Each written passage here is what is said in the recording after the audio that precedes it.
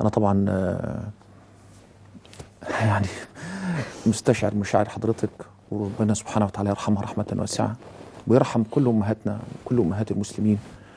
ويجزيهم كل خير على اللي هم عملوه ويجزي كل واحد عمل خير مع أمه ويهدي كل المسلمين آه، إلى طريق الحق وإلى صراطه المستقيم يا رب العالمين. آمين